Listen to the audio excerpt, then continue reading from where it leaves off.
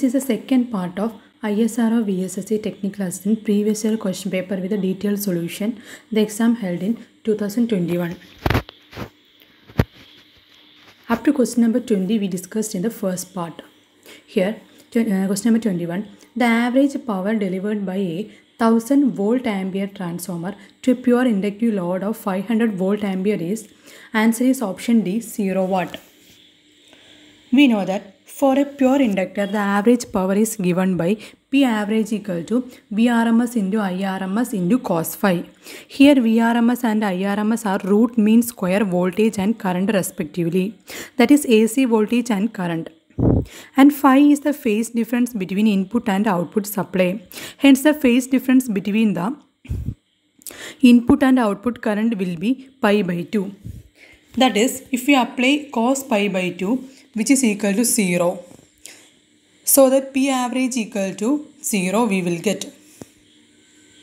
Question number 22. The voltage waveform in the figure Q is applied across an ideal inductor. What is the resulting current waveform?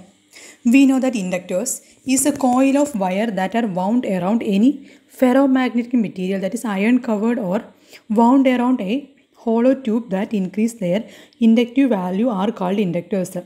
The inductance L is measured in Henry and the instantaneous voltage in volts. Rate of instantaneous voltage is given by V equal to L di by dt. Here, by integrating the voltage, we will get the current. The voltage is a rectangular function, hence the current will be a ramp function. So, choose the uh, option A as the correct answer. Question number 23. The quality factor Q in a series resonance circuit with a resonant frequency 1000 Hz and half power points at 950 Hz and 1050 Hz is. Answer is option B 10. Given half power points are 950 Hz and 1050 Hz. Therefore, bandwidth equal to 1050 minus 950 which is equal to 100 Hz. Uh, this here the bandwidth is represented in Hertz unit. So, bandwidth in radian equal to bandwidth equal to 2 pi into uh, bandwidth. The relation between quality factor and bandwidth is Q equal to uh, W naught by bandwidth.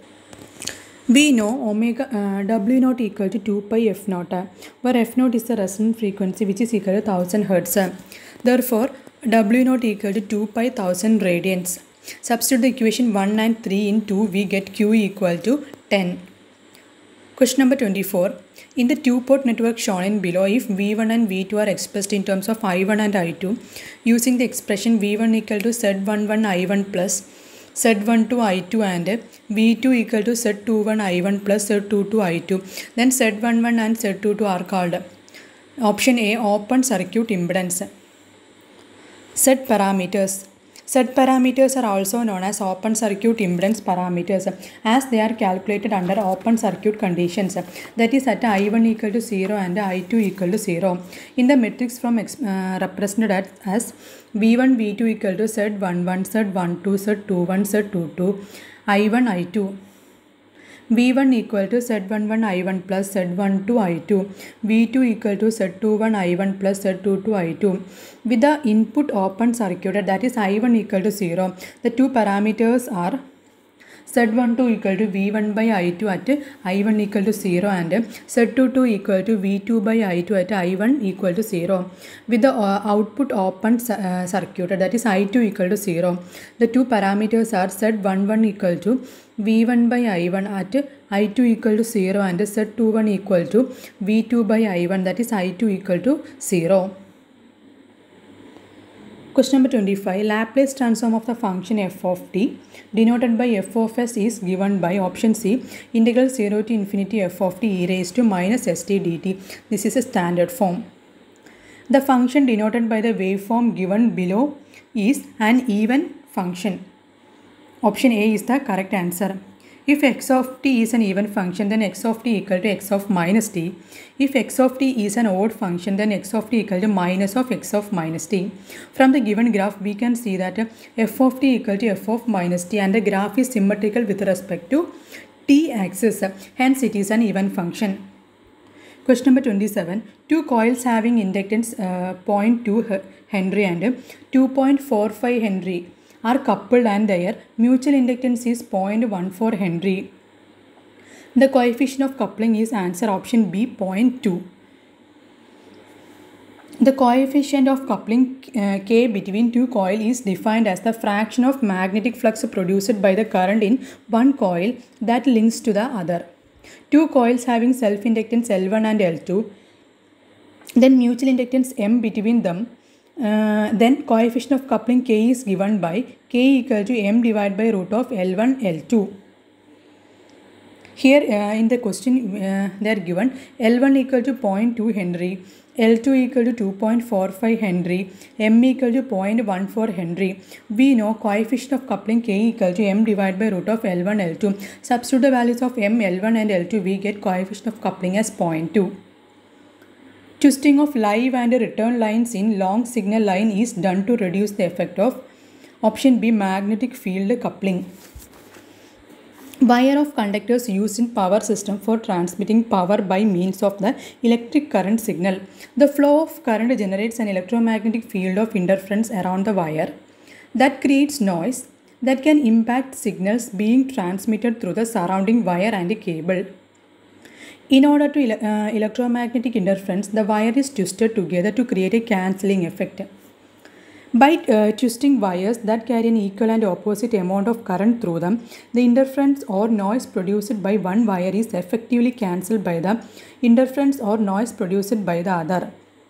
A twisted pair also improves the rejection of external electromagnetic interference from other equipment. Twisted pairs can be shielded or unshielded depending on the intended application. Consider a cable with two wires, non-twisted. One end is connected to the source and the other end is connected to the load. So they are part of a closed circuit. Look at the figure. If the pair of wire is twisted, the EMF and induced EMF change direction with each twist of the wire and the overall noise is cancelled. Question number 29. Device which is not used for lightning protection function is option D ferrite beads. Lightning arrestor is the device used to protect the structure from the damaging effect of lightning. Transzorbs are used in aircraft for protection against lightning. Metal oxide varistors are used for protecting low voltage appliances. And gas discharge tubes are used for protection against high surge currents. And the uh, last one, ferrite beads are used to improve power quality in PCBs and not used for the protection against surges and lightning.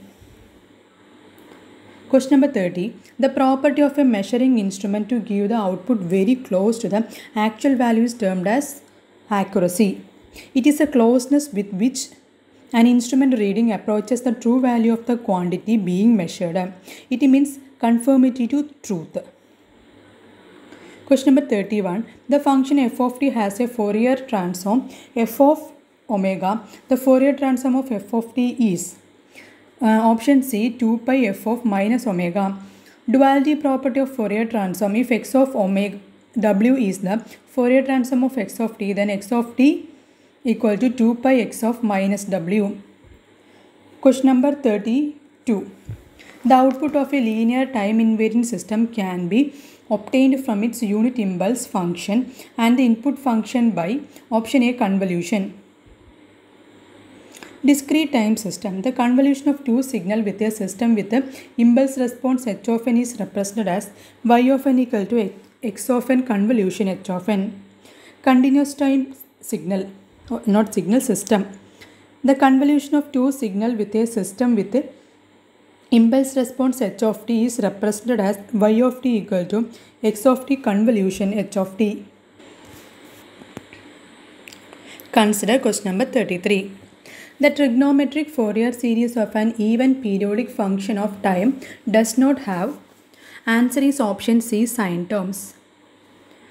Uh, consider this table symmetry condition and Fourier series even uh, even symmetry condition is f of t equal to f of minus t Fourier series the dc and cosine terms can present odd uh, uh, odd symmetry condition is f of t equal to minus f of minus t uh, sine terms can present half wave symmetry f of t plus or minus t by 2 equal to minus f of t odd harmonics. f of t plus or minus t by 2 equal to f of t even harmonics. Question number 34. The Z transform of the following real exponential sequence x of n equal to a raised to n, n greater than 0, equal to 0, n less than 0 and a greater than 0 is given by option B 1 divided by 1 minus a z inverse, inverse that is mod z greater than a. The definition of Z transform is x of z equal to sum of n uh, to infinity which is n equal to minus infinity to infinity x of n z raised to minus n given x of n equal to a raised to n u of n. The Z transform of the given signal is x of z equal to sigma n equal to minus infinity to infinity x of n z raised to minus n. Substitute the value of uh, x of n here. Uh, we know that uh, unit uh, unit step function. Therefore, the limit changes from 0 to infinity. That is sigma n equal to 0 to infinity a raised to n z raised to minus n. Take the n outside. Uh, sigma n equal to 0 to infinity a z raised to minus 1 whole raised to n. We, after so, uh, solving we get 1 divided by 1 minus a z raised to minus 1 which is equal to z divided by z minus a. The region of convergence equal to mod z greater than mod a. If the Z transform of x of n equal to minus a raised to n u of minus n minus 1 is the answer is uh, same but the region of convergence will change which is equal to 1 by 1 minus a z raised to minus 1 which is equal to z divided by z minus a region of convergence equal to mod z less than mod a. Consider question 35. The condition for achieving distortionless demodulation of amplitude modulated signal using an envelope detector is answer is option B modulation index less than 1. Overmodulation results in sharp edges or bends in the waveform of the envelope of the transmitted signal regardless of the audio frequency. It results in false emissions by the modulated carrier and distortion of the recovered modulating signal. For mu greater than 1, the AM wave is said to be overmodulated. For mu less than 1, the AM wave is said to be undermodulated and distortionless demodulation is achieved using envelope detector. For uh, mu equal to 1, the AM wave is said to be critically modulated. Question number 36. What is the minimum period of the discrete sequence e raised to j 2 pi n by 4 plus e raised to j 2 pi n by 6? Answer is option C 12. The fundamental period the is the smallest possible value of a period is called the fundamental period of a given sequence. Here, let x of n equal to e raised to j ohm n. Then fundamental period of n of x of n is n equal to 2 pi by ohm into k where k is an integer. Given x of n equal to e raised to j 2 pi n by 4 plus e raised to j 2 pi n by 6. The period for e raised to j 2 pi n by 4 is n1 equal to substitute these uh, values in the standard fundamental period equation 2 pi by ohm here ohm equal to 2 pi by 4 uh, we, we get n1 equal to 4 similarly then time period for e raised to j 2 pi n by 6 is n2 equal to 2 pi by ohm. Here ohm is 2 pi by 6 we get n2 equal to 6 to find the overall period for uh, x of n n equal to LCM of n1 comma n2 here LCM of 4 comma 6 we get 12 Question number 37. Directivity of an isotropic antenna. Answer is option B1. Answer. We can uh, discuss briefly. Directivity is the ratio of the radiation intensity in a given direction from an antenna to the radiation intensity averaged over all directions. The gain of an antenna takes uh, the directivity into account. Isotropic antenna radiates in all directions. Look at the figure gain equal to uh, eta ED where eta ED E equal to antenna efficiency and D is the directivity of antenna. Hence the directivity of an isotropic antenna is 1. Question number 38. In object oriented programming, what is the relation of an object to a class? Answer is option D. Object is an instance of a class. We all know that object oriented programming is an approach to designing modular, reusable software systems. The object oriented approach is an evolution of good design practices that go back to the very beginning of computer programming. Object orientation is simply a logical extension of older technique such as uh, structured programming and abstract data types. The object of object-oriented programming are classes are regard, regarded as types for instance. Instance cannot change their uh, type at runtime. The list of classes is fully known at compile time and uh, cannot change after that. Compilers are used at build time. Uh, compile time errors indicate problems. Classes encode much of their meaning and behavior through imperative functions and methods. Instances are anonymous in so far that they cannot easily be addressed from outside of an executing program. Question number 39. Which of the following statement is false? Option D. A system which gives 0 output for 0 input is always a linear system is the false statement. Explanation. BIBO stability. To test the stability of a system, if we apply bounded input, output is also bounded, then it is stable system. Therefore, option A is correct. Causal system. Output of a system depends only on past or present input sample. Spelling is mistake actually there. Uh, then it is a causal system. Option B is correct. Impulse response. If we apply impulse at input, then the response is known as impulse response. The impulse response is, uh, is finite duration, then it is known as finite impulse response. The impulse response is in infinite duration, then it is known as infinite impulse response IIR. Therefore, option C is also correct. Linear system. A system that obeys superposition theorem is called a linear system. Consider an example. A linear system y of n equal to a x of n. For 0 input, output is also 0. A non-linear system y of n equal to a x square n. For a 0 input, output is also 0 here. For 0 input, output is 0. Then it can be linear or non-linear system. That is option D is false. The last question of this video is 40.